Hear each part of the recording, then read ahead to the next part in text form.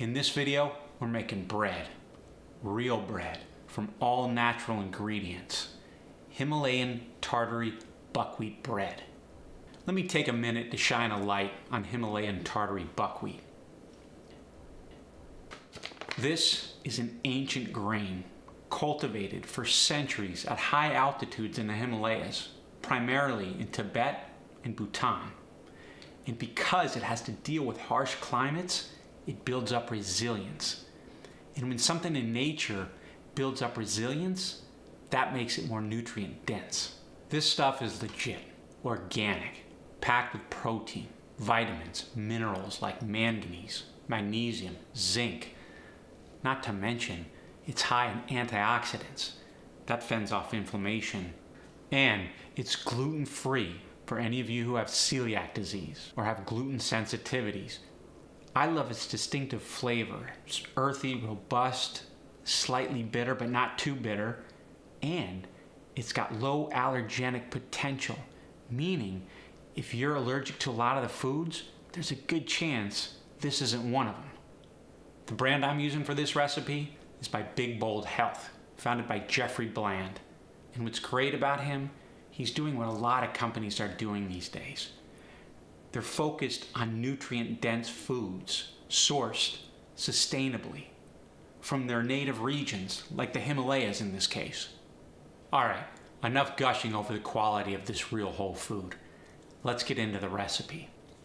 First, two cups of Himalayan Tartary buckwheat, two eggs, preferably pasture raised, organic, and in an ideal world, you get it from your local farmer. Two teaspoons baking powder, one teaspoon baking soda, and one teaspoon of salt. As an option, to sweeten it up a little bit, you can add one tablespoon of either sugar or honey, a quarter cup olive oil or melted butter. I use olive oil. I love olive oil. And here's the kicker a cup and a half of raw kefir. Many refer to it as kefir. To make your own kefir, check out the recipe right there in that video. Raw kefir is packed with probiotics. Unfortunately, when you cook it, it's going to lose most of those probiotics. But it still does help with absorption and digestion of the nutrients and the wholesome goodness of the bread. This is going to add to the tanginess. It is also going to help your bread rise. By the way, if you want your bread to rise even further, add one cup of regular flour. I do it without. Preheat your oven to 350 degrees Fahrenheit. That's about 175 degrees Celsius. Grease a 9 by 5 loaf pan. I didn't have one of those, so I just used a pan that I had available. It worked, wasn't ideal, but do what you have at your disposal. You can grease it, I used olive oil, or you can line it with parchment paper, your choice. In a bowl, you're gonna wanna beat the eggs, then add the wet ingredients, the kefir, the olive oil, the honey. Then add the dry ingredients, the Himalayan Tartary buckwheat flour, the baking powder, the baking soda, the salt.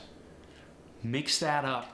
You don't want to overmix. The batter should be slightly lumpy, but without any dry spots of flour, and smooth over the top with a spatula. Everyone's oven is a little different. The directions that I first got said 40 to 45 minutes. I found that 25 to 30 minutes, I check it and it's usually ready. To check it, just take a toothpick and poke it in the middle. If it comes out clean, you're good. Take it out. Let the pan cool for about 10 minutes. You can use a spatula to get it out of there and let it completely cool after that.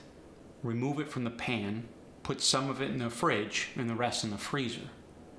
Leave comments. I want to know how the recipe worked for you. Let me know if you made any alterations that you really enjoyed and want to share.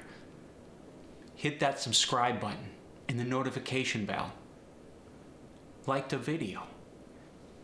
And remember, if you've grown up hooked on the standard American diet and you're feeling less than optimal, make incremental changes in your life to lead a cleaner, more natural, active lifestyle. and it'll make all the difference. I love you.